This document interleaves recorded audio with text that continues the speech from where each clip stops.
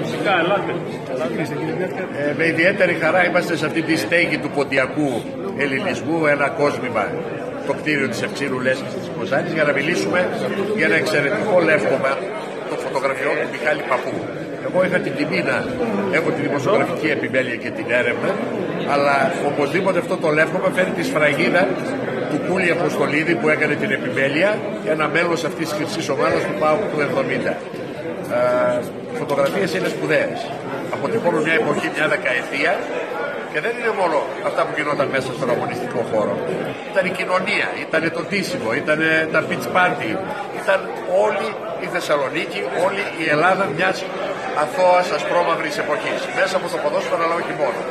Αξίζει να το ξεφυλίσει κανείς για να θυμούνται οι παλιότεροι και να μαθαίνουν οι νεότεροι. Ξεχωρίζετε καμία φωτογραφία ιδιαίτερα που σας έμεινε ίσως από κάποιο τελικό, ίσως από κάποιο σημαντικό αγώνα; Εγώ αυτό που το έχω πει πάρα πολύ, αλλά δυστυχώς δεν μπορεί κανείς να παραβλέψει ότι ανάμεσα σε αυτές τις φωτογραφίες δεσπόζει αυτή η φωτογραφία που έμεινε σύμβολο του fair play.